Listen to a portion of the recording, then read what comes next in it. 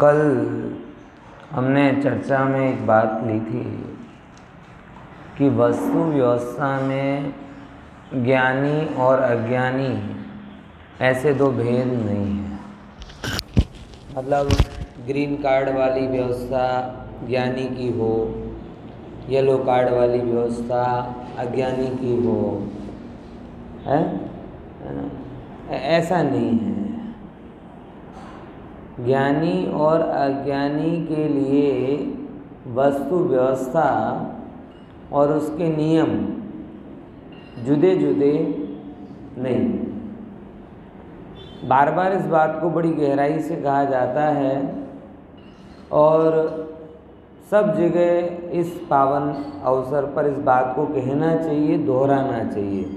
जैन हो, श्वेतांबर जैन हो, तेरह पंथी हो, बीस पंथी हो कॉमन फैक्टर कहो, जैन धर्म वैज्ञानिक धर्म है। जैन धर्म वीतरागी धर्म है। जैन धर्म यूनिवर्सल नियमों पर चलने वाला धर्म यहाँ फेस को देखकर नियम बदल जाए, ऐसा नहीं।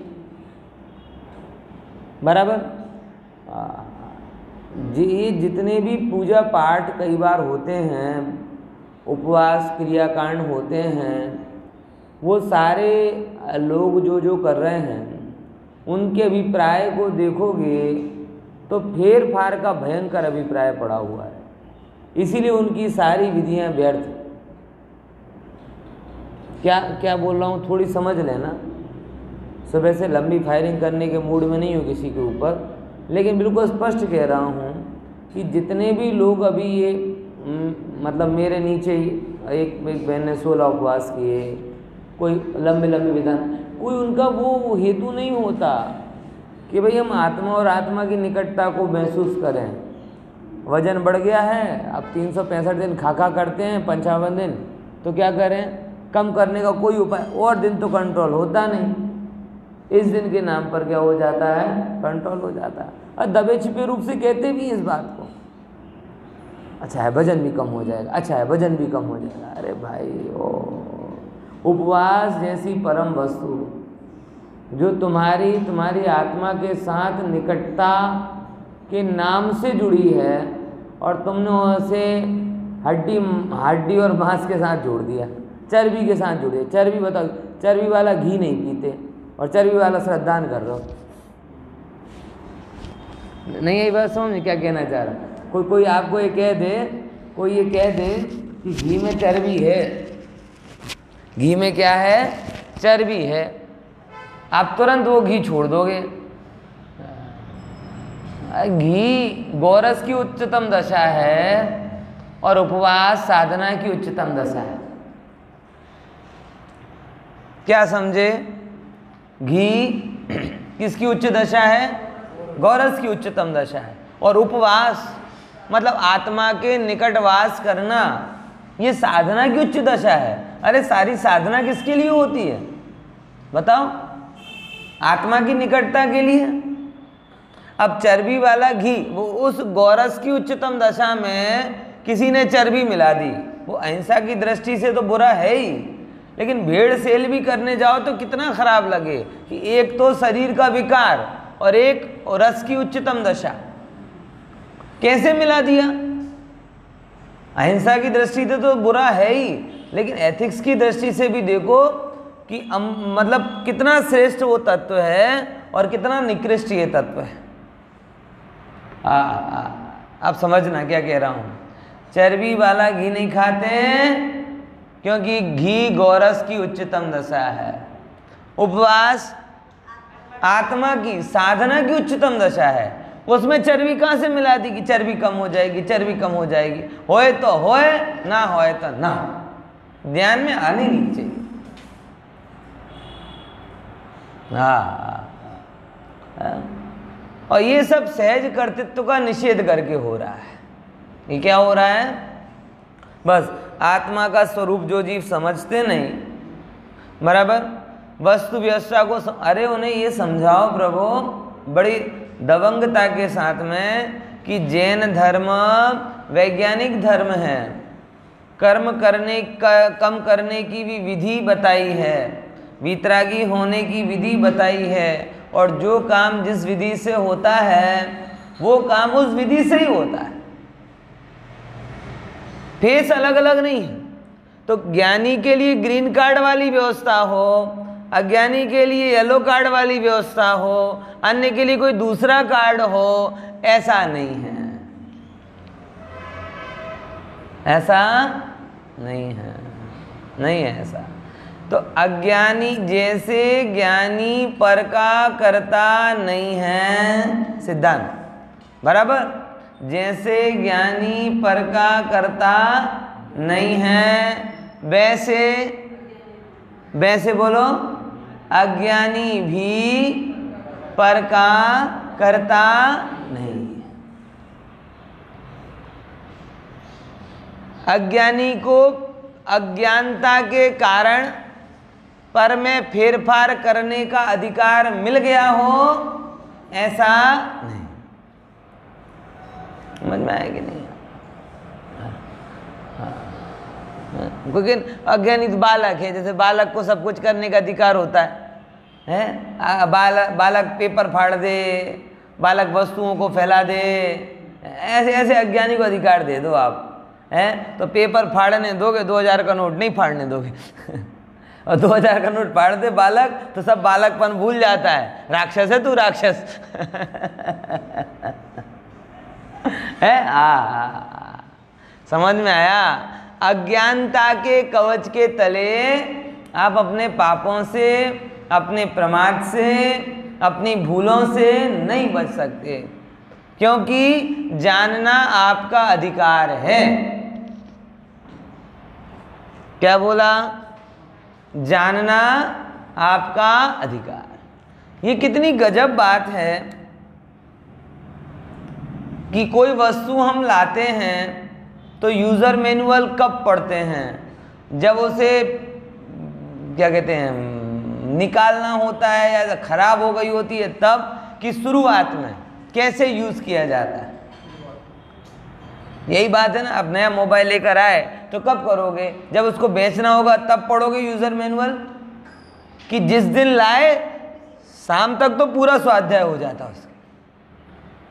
स्वाध्याय और प्रयोग। और ना हो तो कंसल्टिंग और इनमें भी ना पड़े तो तुरंत दुकान वाले की माथे ऊपर हमने सवारे लेने गया था, बराबर काम करतो नहीं कितनी तत्परता, कितनी उग्रता।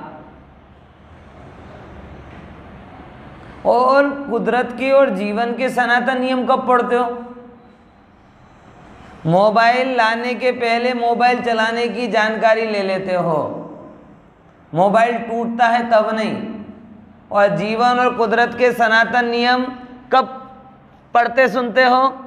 जब जीवन टूटकर बिखरने लगता है तब। जब समाधि पढ़ना होता है, तब समझ लाते हो।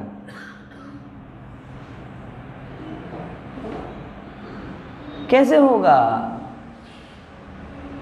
है? जब आप सिमटने के लिए होना चाहिए तब आप फैलना शुरू करते हो। पॉइंट आ रहा है कि नहीं आ रहा समझ में क्या कहना चाह रहा हूँ? ये अधिकतर की समस्या है।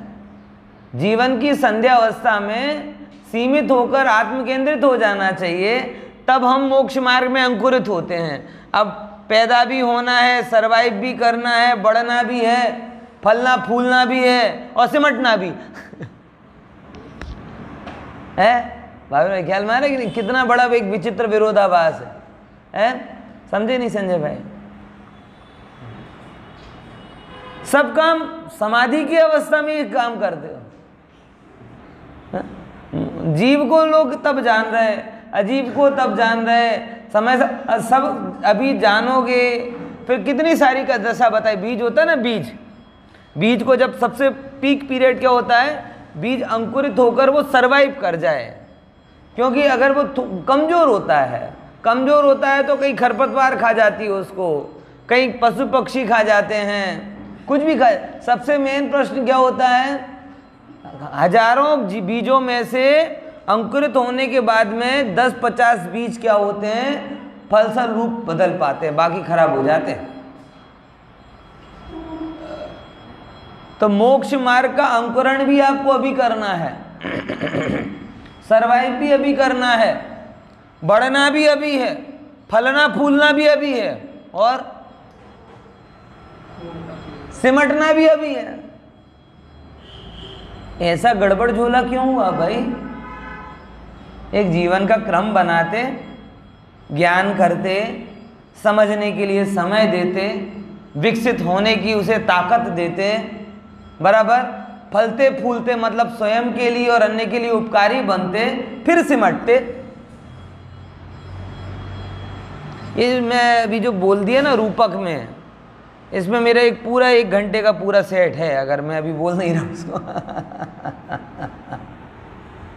समझ आया कि नहीं आया? फिर से समझ लो, जो मैं ये शब्द बोल रहा हूँ, उसको ध्यान से पकड़ लेना तो वो मेरा एक घंटा बच जाएगा। वो बचेगा, मैं वो उस पर जाना नहीं चाहता अभी।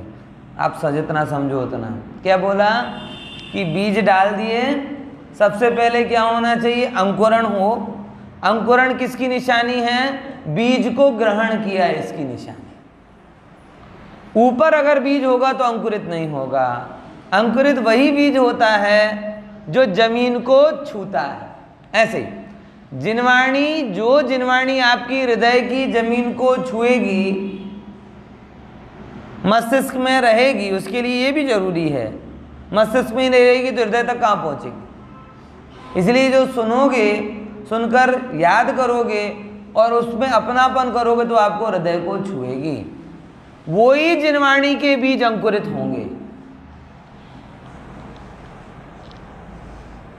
आप ये नहीं समझना, लोग बड़े वो जड़ बुद्धि होकर कह देते, चार घंटे सुना, छह घंटे सुना, सब ऐसा कर रहे, पत्थर पर बीज डाल रहा एक बीज को ग्रहण नहीं करते। जैसे आए, वैसे के वैसे कोरे कोरे कोरे। ये एक तरीका नहीं है। बराबर? तो सबसे पहले अंकुरित कौन सा बीज होता है? जिसने ज़मीन को छुआ हो, अथवा ज़मीन ने जिस बीज को आत्मसात किया। दूसरे नंबर, सबसे खतरनाक और सबसे डेडिके कहते हैं वलनरेबल टाइम कौन सा? अंकुरित हो गया, अब उसका सरवाइव करना। बहुत कोमल समय होता है, बहुत कमज़ोर बीज है वो, बहुत ही कमज़ोर। है कोई भी उसका बिगाड़ सकता है। एक छोटा बालक भी आएगा ना, वो भी खेल खेल में ऐसे घास पत्ती खींच देगा, वो गया, बीज गया। समझ में आ रहा ये होता है। दस दिन के बीज होते हैं ना, दस दिन के बीज, वो पूनम के दिन खत्म हो जाते हैं।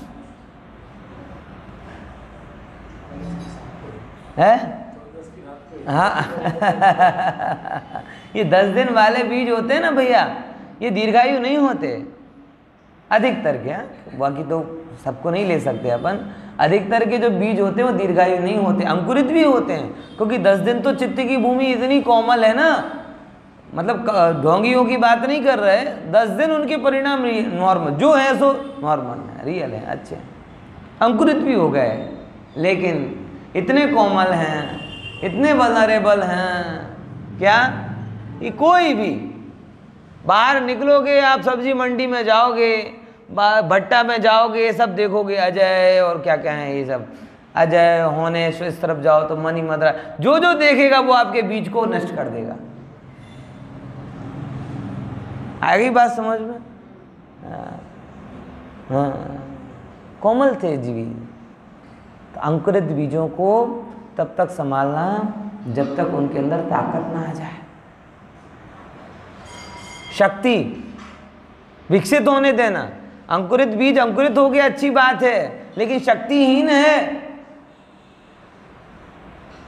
सद निमित्तों के बल से उसको शक्तिवंत बनाना। बराबर? विकसित होने का अवसर देना। और वो ताकत आएगी उसके अंदर। जब वो ताकत आएगी तो बीज वृक्ष बन जाएगा। फिर आपको ज़रूरत नहीं है उसको ताकत देने की। फिर तो लोग गाय भी उससे बाँध कर चले जाए ना तो हिला नहीं पाएगा। गा, गाय। गाय भैंस कमज़ोर नहीं होती। कभी जब ये कभी मैं गया था ना एक जगह तो बता रहा था सोनू जी भाई साहब बता रहे थे एक बार वो कहीं जा रहे थे उनके भैया तो उनका भैंस से एक्सीडेंट हो गया रात के समय। आगे का पूरा वो मडगार्ड वो वो पूरा हो गया और भैंस एक गिरी, फिर उठी और चलती। मतलब वो भैंस बुद्धि के मामले में खराब है, बाकी बड़ी तो भैंस ही है। समझ में कि नहीं? है बुद्धि के मामले में छोटी है, बाकी तो बड़ी तो मुहावरा आता ना, अकल बड़ी की भैंस। लेकिन वही जब वृक्ष जो छोटा, एक छोटा बच्चा उसे नष्ट कर देता था, फलद्रुप हो गया, झाड़ बन गया, अब उससे आप पशु पक्षी भी बाँध दो तो हिला नहीं पाते। और उसकी छाव में कितने? अब फल रूप जो मैंने चौथे नंबर पे बोलना है कि आप स्वयं के लिए उपयोगी हो रहे हो, अन्य के लिए उपयोगी हो रहे हो, तब जाकर पुनः वो वृक्ष अपने आप को समेट कर फिर से बीज बन जाता है, फल के रूप में आकर तो ये जो समाधि है वो ये। बीज की यात्रा, वृक्ष बनी और वृक्ष बनकर फिर से सिमट के पहले धरती के गर्त में गई थी, अब आत्मा के गर्त में आ गई और पूर्णता को प्राप्त अब समाधि में जो चीज़ सुननी है समाधि, जिस समय समाधि की बात, सिमटने की बात सुननी है, उस समय हमारे अंदर बीज डलते हैं। तो काम बहुत करना पड़ेगा। ऐसा नहीं कि नहीं हो सकता हो सकता है, लेकिन समय ज़्यादा चाहिए। क्लियर हुआ ना? हाँ। पालड़ी के लोग इतने प्यारे हैं कि पेट में कुछ रहते ही नहीं। निकल ही जाता है। हाँ हाँ चल, ये बात ख्याल में आई ना कि ये ज्ञान ज्ञान की कीमत बता रहे हैं। तो ये ज्ञानी और अज्ञानी के लिए अलग अलग वस्तु व्यवस्था नहीं है। ज्ञानी और अज्ञान, जो वस्तु व्यवस्था को जान लेता है, वो ज्ञानी। और जो वस्तु व्यवस्था के विरुद्ध जाता है, वो अज्ञानी। बाकी काम तो सबका एक सा ही है। और इसीलिए यहाँ पर ये शब्द बोला, अगला जो कलश है बासठ नंबर का, सिक्सटी टू नंबर का, देखो, आ। अगली गाथा के पहले हैं कि मतलब ज्ञानमयी आत्मा है, इसका निर्णय करवा रहे एक साथ बोलेंगे, सभी बड़ा प्रसिद्ध कलश है। सबको याद ही होना चाहिए। प्रतिक्रमण आदि में भी हम इस कलश को पढ़ते हैं। ठीक है ना? क्या कहते हैं? आत्मा ज्ञानम, एक साथ पढ़ो सब। आत्मा ज्ञानम।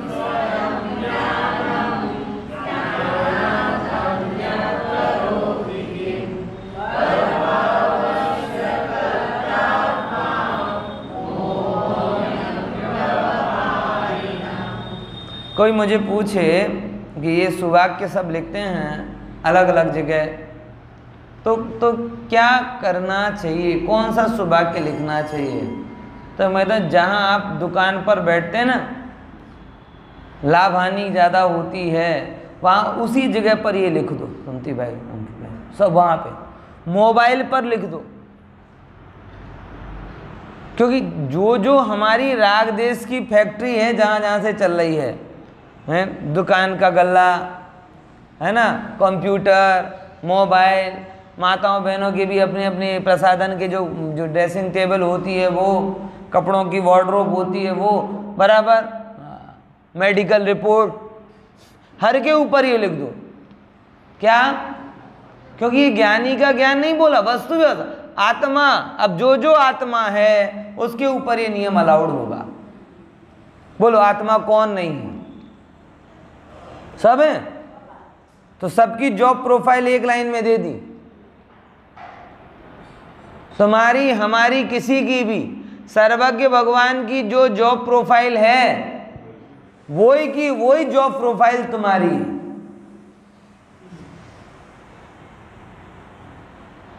ऐसा धर्म कहीं मिलेगा? ऐ, ऐसी समानता कहीं बताई? बहिरात्मा अंतरात्मा परमात्मा में भेद नहीं किया। बहिरात्मा और अंतरात्मा की बात क्या कहें? बहिरात्मा और परमात्मा में भी भेद नहीं किया। पॉइंट समझ आए क्या कह रहे है भैया? ये ये जैन धर्म है। आहा। जगत तो अभी बहिरात्मा और अंतरात्मा को एक एक स्वरूप मानने को तैयार नहीं। ज्ञानी तो जुदे ही होते हैं। हम तो सब कर सकते हैं। अरे प्रभु जैसे ज्ञानी, जैसे तू और ऐसे ही भगवान। जो जो आत्मा है, हमने पहले आत्मा के वाले लेसन में ये बात पढ़ी है कि आत्मा तीन नहीं होती, आत्मा की अवस्था तीन होती। और हर अवस्था में काम तो एक ही। आत्मा ज्ञानम स्वयं ज्ञानम। ज्ञानात अन्यत करोति किम? हे जीव, मैं आत्मा हूँ, ज्ञानमयी हूँ, स्वयं ज्ञानमयी हूँ। पढ़ पढ़कर ज्ञानी नहीं हुआ, सुन सुनकर ज्ञानी नहीं हुआ।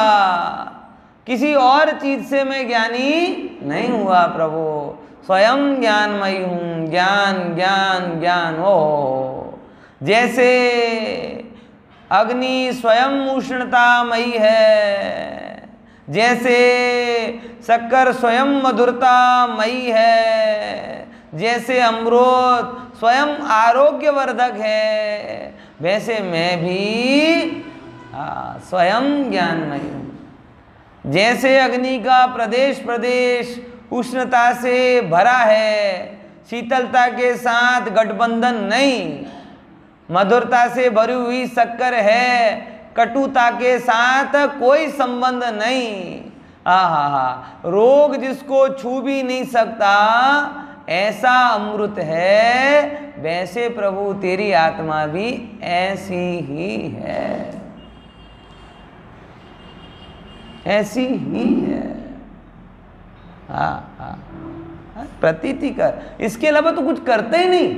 बताओ आज तक मैं दूसरा प्रश्न करता हूँ। आप जब कहते हो मैंने ये किया वो किया तब बताओ तब तुम क्या कर रहे थे? मैं जब आया था गाँव से कुछ नहीं था मेरे पास पैसा नहीं था दुकान नहीं थी आज आ, अच्छा तो पैसा बनाया दुकान बनाई परिवार बसाया इतने जगह प्रसिद्धि को पाई किया क्या? है? बताओ, किया क्या? हो रहा था। जब भी तू, जब आया था, तब कुछ नहीं था, ये जान रहा है। फिर अब कुछ करना चाहिए, विकल्प हुए, उसको जान लिया। फिर पुण्य का उदय हुआ, कुछ कुछ होने लगा तो वो जानने लगा। फिर वो बढ़ते हुए कोई मूर्त रूप ले लिया, मकान बन गया, दुकान बन गई, परिवार बन गया। तब क्या किया? तब भी जाना। अब पहले अहंकार हो रहा था, सब मेरे अनुसार चलता है, तब जान रहा था। अब अहंकार पे बार बार चोट पड़ती है कि मेरे अनुसार कुछ नहीं हो रहा, मेरे अनुसार कुछ नहीं, तब भी जान ही रहा। किया गया। ज्ञानात अन्यत करोति के हमने क्या किया बताओ? बचपन में थे, शरीर बढ़ रहा था, जान रहे थे, तब भी बहुत कोशिश की थी कि छह फुट के हो जाएँ। अब नहीं हो पाए जान लिया। बराबर। अब ये शरीर क्षीण हो रहा है। कोशिश करते हैं बाल को सफ़ेद होने से बचा लें, जड़ने से बचा लें, शरीर को क्या कहते हैं, जीर्ण होने से बचा लें। क्या कर पा रहे हो बताओ? जान ही रहे हो ना तब भी। पूरी ऊर्जा लगा देते हो।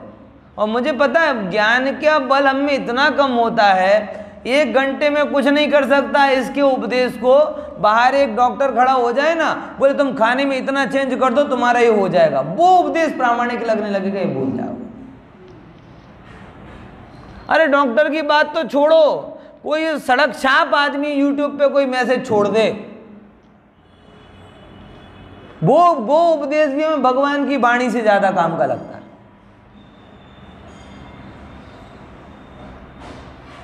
हम्म बोलो। हमें ज्ञान का मज़ा नहीं आता। मज़ा करते तुम्हें ही आता है। और जिसको जिसमें मज़ा आता है, वही करता है। मैं तो ये नियम जानता हूँ। ये जो ऊपर ऊपर की जो बातें हैं, ये सब ऊपरी हैं। भीतरी तो जिसको जिसमें आनंद आ रहा है, वो वही कर रहा है। समझ में आया कि नहीं आया? हाँ। जिसकी दृष्टि में जो कीमती है, वो कीमती है। जिसकी दृष्टि में शरीर कीमती है वो शरीर के लिए दौड़ रहा। जिसकी दृष्टि में धन कीमती है, वो धन के लिए दौड़ रहा। जिसकी कीमती में भोग, जिसकी दृष्टि में भोग कीमती हैं, वो भोगों के लिए दौड़ रहा। और जिसे आत्मा कीमती लग रहा है, वो दौड़ को हटा कर आत्मा की तरफ़ जा रहा है। बाकी सब ऊपरी ऊपरी बातें हैं, संयोग हैं। कॉन्सियस माइंड के विचार हैं, कभी ये, कभी वो। गहरी रुचि जहाँ पड़ी होती है, जीव वो ही करता है। इसमें कोई कोई वो नहीं है, दो दो राय नहीं है। बाकी तो सब किसी के कारण कोई कुछ करने लगे, किसी के कारण कोई कुछ करने लगे, किसी के सामने कुछ बोलने लगे, ये सब तो कॉन्शियस माइंड के खेल हैं। ऊपरी ऊपरी है। पंडित जी मिल गए तो अच्छी अच्छी बात करने लगे, मित्र मिल गए तो स्कूल की बात करने लगे, बराबर ऑफ़िस में गए तो ये सब कॉन्सियसली हो रहा है। लेकिन अंदर का जो गहरा श्रद्धान है, वो तो पड़ा हुआ है। वहाँ से सुधार है।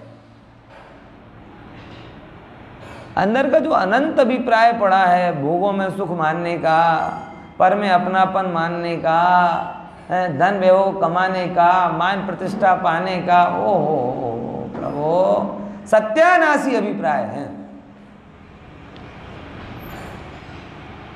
ये लाइन वहाँ पहुंचाओ कि मैं पर का कुछ कर सकता नहीं। और ये जो सब जगत का ताइफा चल रहा है, उसको बोलते हैं मोह एवं व्यवहारिणाम। ये क्या है? ये सब व्यवहारी जीवों का मोह नाच रहा है। खरेखर तो उनने भी यही किया। क्या? जाना। जाना तो सबने। लेकिन ज्ञानियों के पास मोह नहीं था ना। इसीलिए मात्र जानते रहे। बराबर ख्याल में आया कि नहीं आया? और अज्ञानियों के पास मोह था, इसलिए हर ज्ञान की खुराक में मोह डालते रहे। गजब है ओ हो हो हो ज्ञानी विष को भी अमृत बना देते हैं ज्ञान के बल से। और अज्ञानी अमृत को भी विष बना देते हैं मोह के बल से। ये समय सार परमागम ગુરુદેવ के हृदय में जब भी बात आती ओ हो हो हो અશરીરી થવાનો માર્ગ છે કેવો માર્ગ અશરીરી થવાનો શાસ્ત્ર છે અહીંયા એ સાંભળે અને શરીર સહિત રહે એવી આ શરીરમાં તાકાત નથી કર્મમાં તાકાત નથી હા આવી વાત સાંભળીને તો જેમ સૂર્યની સામે બરફ પીગળી જાય. ભયંકર વાવાઝોડું ચાલતો હોય તો જે તમારું છે ને દીપ એ બુજી જાય. શું કહેવાય? પાણી પડે તો શરીરનો મેલ નીકળી જાય. એમ સમયસારની ધોધમાર સાંભળીને મોય તો ક્યારનો વયો ગયો હોય? આ સમયસાર સાંભળીને મોય રહે આવી મોયની તાકાત નથી પ્રભુ આ આવી મોયની તાકાત નથી इतना निर्बल कितना एक लाइन में मोक्ष का बीज दे दिया आत्मा ज्ञानम स्वयं ज्ञानम ज्ञानात अन्यत करो मैं तो ज्ञानी हूँ शेयर बाजार बढ़ गया मैं ज्ञानी हूँ जान रहा हूँ। मोदी जी आ रहे फुट ब्रिज का उद्घाटन करने। वो ई लोकार्पण करेंगे, अपन ज्ञान लोकार्पण कर लेंगे। हमारा क्या? आत्मा ज्ञान हम स्वयं ज्ञान हम ऑनलाइन जानते हैं, ऑफलाइन जानते हैं। हार्ड कॉपी में जानते हैं, सॉफ्ट कॉपी में जानते ज्ञानात अन्यत करो थी कि ज्ञान के अलावा मैं कुछ करता ही नहीं हूँ। हा हा આખો જગત પૂરબથી પશ્ચિમ તરફ જોડે એવા બ્રિજની ચર્ચા કરે છે. આ સમયસાર બહારથી અંતર તરફ જોડાય એવો બ્રિજ છે. સંસારથી મોક્ષ તરફ જોડાય એવો બ્રિજ છે. મિથ્યાત્વથી મોક્ષ સુધી લઈ જાય. ઓહો, હો હો, એવો બ્રિજ છે ભાઈ આ. સમજાય? સમજાય? આ સમયસાર કેવો બ્રિજ છે? બહારથી અંતર લઈ જાય સંસારથી સિદ્ધત્વ સુધી લઈ જાય અને મિથ્યાત્વથી મોક્ષ સુધી લઈ જાય. પણ ધ્યાન રાખજો, પહેલાં બ્રિજ અને આ બ્રિજમાં એક જ ખૂબી છે. કઈ? કે ત્યાંય વ્હીકલ અલાઉડ નથી, અહીંયા વ્હીકલ અલાઉડ નથી. વ્હીકલ એટલે પાર્કો. કોઈ પાર્કો તમને લઈ જશે, જાતે ચાલીને अटली समानता। तो उस ब्रिज पर ही व्हीकल अलाउड नहीं है ना। कोई कोई फोर व्हीलर नहीं मिलेगी, कोई ओला नहीं मिलेगी, कोई उबेर नहीं, कोई रिक्शा नहीं, कोई मेट्रो नहीं। पैदल जाओ। पैदल जाओ। पैदल किसका चिन्ह है? पुरुषार्थ का चिन्ह। अग्यार नंबर नी गाड़ी। कई गाड़ी कहवा है? ना अग्यार नंबर नी गाड़ी। આટલી ખૂબી છે આ બ્રિજમાં જે સમયસાર બનાવે છે ભાઈ જો બ્રિજ બનાવી દીધું છે અને તમને કહું ને આપણો તીર્થંકર શબ્દ ઘણી વખત કહું, जैन धर्म केवो महान कितना महान भगवान को हम क्या कहते हैं तीर्थंकर तीर्थ मतलब क्या कहलाता है ब्रिज तीर्थ मतलब क्या कहलाता है ब्रिज शब्द में शब्द में तीर्थंकर का मतलब कहला, तीर्थ मतलब कहलाता है ब्रिज, जो एक चीज़ को दूसरी चीज़ से जोड़े, वो तीर्थ।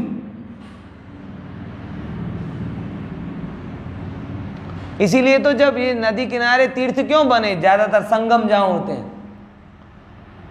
दो जुड़ते हैं, इसीलिए वो ब्रिज।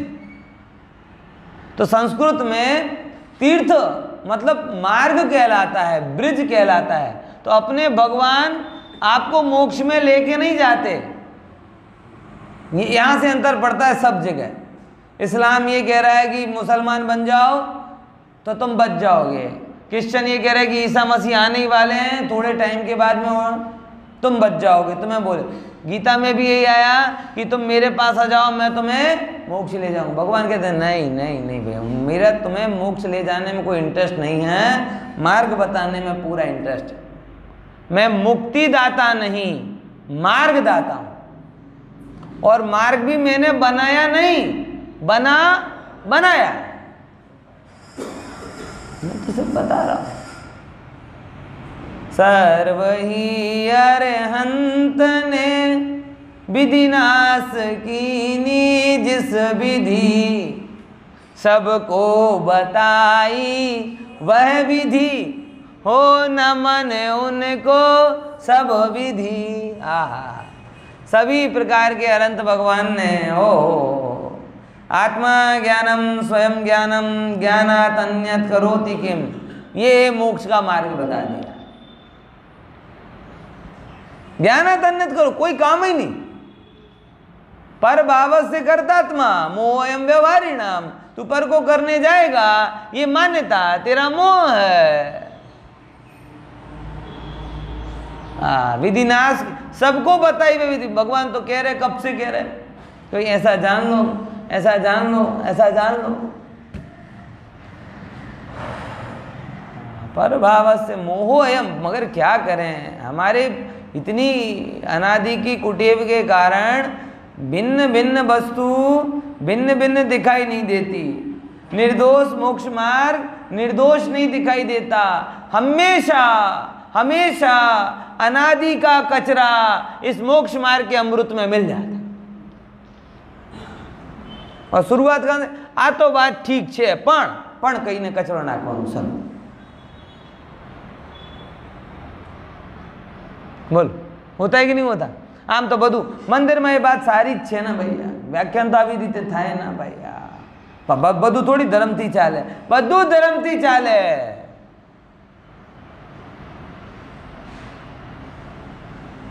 धर्ममय जीवन હોવું જોઈએ. धर्म ધર્મ जीवन की જીવનની बात करूँ કરું स्वाभाविक है कोई चौबीस घंटे स्वाहा पूजन नहीं कर सकता कोई चौबीस घंटे चौबीस घंटे पुस्तक लेकर नहीं बैठ सकता कोई चौबीस घंटे तीर्थ यात्रा नहीं कर सकता दान नहीं दे सकता लेकिन चौबीस घंटे एक धर्म कर सकता है कौन सा ये लाइन जो बताई कौन सा आत्मा ज्ञानम बोलो आगे। ज्ञानात। फिर से बोलो। आत्मा।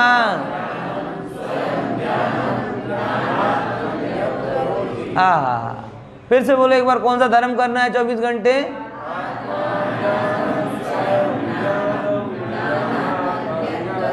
ओह तो पुरुषार्थ ये तो हुआ। अब सावधानी कौन सी रखनी है? वो जब ज्ञान स्वभाव बिगड़ता दिखे जब ज्ञान स्वभाव बिगड़ता दिखे तो फिर से याद करना, ए, ये क्यों बिगड़ा? राग के कारण द्वेष तो ये मैं नहीं हूँ।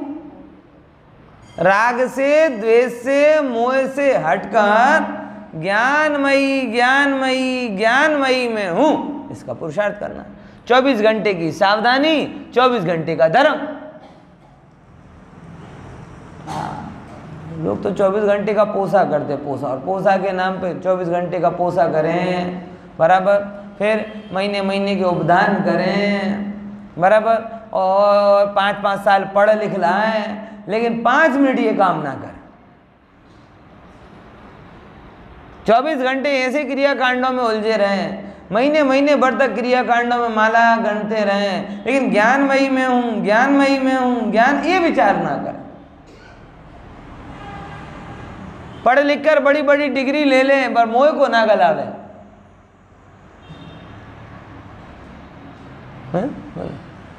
गुरुदेव ने क्या माल दिया? क्यों उनके वो कहते ना, चार चौपड़ी वाले के आगे बड़े बड़े न्याय, तीर्थ, सिद्धांत शास्त्री सब नतमस्तक हो जाते थे। चार चौपड़ी, कहते हैं, गुरुदेव कूद चार चौपड़ी जिनने जिनने पढ़ी उनके आगे बड़े बड़े बंशीधर जी, न्यायाचार्य। ये ऐसे ऐसे लोग जो अपने आगे खैर खा थे जितने भी विद्वत परंपरा दिखाई देती है, इन सबको ज्ञान गुरुदेव से कम मिला, दृष्टि मिली। क्या मिली? बाकी ये सब लोग पहले से न्याय तीर्थ थे। कोई फूलचंद जी शास्त्री बराबर, कैलाश चंद जी शास्त्री, बंशीधर जी शास्त्री, ये कोई ऐसे नहीं थे कि जीव क्या है, शुरू से बाल पोथी पढ़ के आए हो। इन्होंने अपना जीवन पूरा लगा दिया था इसमें, और जीवन की परिपक्व अवस्था में इन्हें गुरुदेव का संयोग मिला। युगल जी, उत्तम चंद जी ज्ञानचंद जी, डॉक्टर साहब, ये कोई पाठशाला से गुरुदेव के भक्त नहीं बने? ये तो खुद पाठशाला पढ़ाते थे, प्रवचन करते थे। ऐसे लोग थे सारे। पूरे भारतवर्ष के जब गुरुदेव का उदय हुआ तो पूरे भारतवर्ष में जैसे तैसे जहाँ जहाँ पे भी गतिविधियाँ चलती थी, जिस रूप में भी धर्म के नाम पर चलती थी, ये सब वहाँ पर उसके मूल सूत्रधार थे। हो हो गुरुदेव के पास गए, नतमस्तक हो गए। क्यों? क्योंकि शास्त्र पढ़े थे।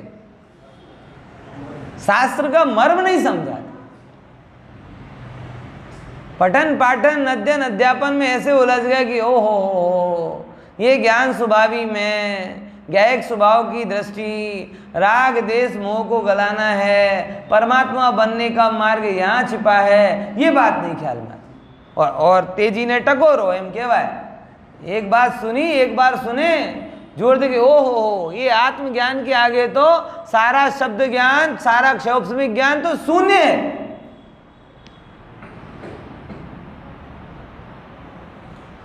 ये क्रांति की गुरुदेव। समझ में आया? इसलिए प्रभु विचारना 24 घंटे का धर्म तो यही है। कि तुम देखो जान करके भी ज्ञान को बंद नहीं कर सकते જ્ઞાન જાન કરકે બી આપ ચાહો ને લોક આજકાલ બહુ પરેશાન મગજ એટલું ચાલે છે ને એટલું ચાલે છે ને એને થોડુંક બંધ થાય તો સારું ઉતી વખતે શાંતિ નથી હોતી આવું કહે છે शांति सो शांति से सो क्योंकि इसका ऑफ का बटन ही नहीं एक विकल्प घुस जाए वो घूमता रहे घूम घूम घूम अब मच्छर के लिए तो तुमने गुड नाइट लगा दिया। ये विकल्प के लिए क्या करोगे? है? घूमता रहता है। रात रात की नींद खराब कर देता है। धंधे में क्या होगा? इसमें क्या होगा? उसमें क्या होगा? शरीर में क्या होगा? एक बीमारी आती है तो अपने आप को वेंटिलेटर पर देखने लगता है। एक बीमारी में सारा तत्व ज्ञान, स्वाहा एक विपरीत परिस्थिति में सब तत्व ज्ञान स्वाहा, बोलो, विचार करके देखो। अरे प्रभु, गहरा निर्णय करो।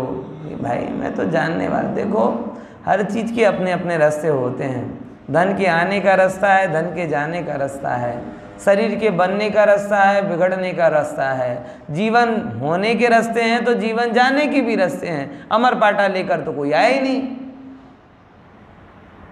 ना तुम हो, ना कोई संयोग है, ना कोई व्यक्ति है।